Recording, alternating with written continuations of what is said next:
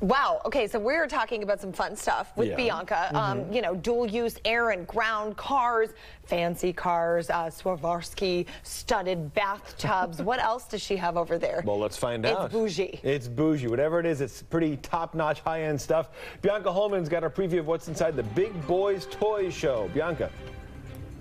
Hey, John. Hey, Heather. We got everything luxury, everything exclusive, things that you're not just going to find in your local Walmart or on your local uh, car dealership. This is exclusive hot rods. We've got flying vehicles and off-roaders uh, that you can use if you've got some cattle. And I'm joined by Bijou, who is the CEO of Big Boys and Toys. And it's not just the boys. We've got girls. We can enjoy this stuff too. So tell us, why was it so important for you all to return back here to Las Vegas? like you said, this is a show for everybody. It's this. I think this is the only show where everybody can come and have fun. And why Las Vegas? There's no better place.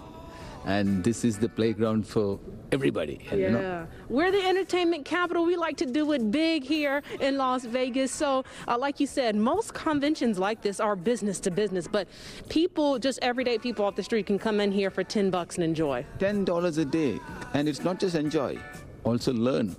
Where do you see such innovation from a flying car to a air-powered yoga mat? Yeah. You have everything in here. We you know. do, we do. And I want to show you all, this is the off-roader that we saw a little bit earlier that a lot of people use to, we talked with the owner, uh, Michael Jensen, and he was saying that people use this for their cattle. They have these, they use these items that sometimes are out of this world for most people. So tell us some of the other things. You were telling me we had a summit that's happening. We have a summit, and it is on healthcare and supply chain.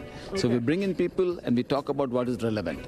And people need to discuss and come up with solutions. And it's all about showing the world what we can do and what is possible there. So if a school kid comes in here, they will get to open up their mind and see what can be done in the future, and that will really help them grow. That's the beauty of the show. Yes. you know? All right, wonderful. So again, open up. They're still kind of setting up, so we can't show you everything. This is just a preview. This is just a snippet, just to get your palate wet. Okay. So of course you can come out and enjoy uh, the Big Boys Toys uh, exhibition this weekend. We'll have information on our website. Back to you guys in the studio. Dipping her toe in the world of luxury. Yeah, find that find that disposable income and uh, see if you can Right, throw it around right. somewhere. We'll just spend our $10 this weekend and pretend that we Yeah. have all that money. Thanks, Bianca. Appreciate it. Take care of yourself.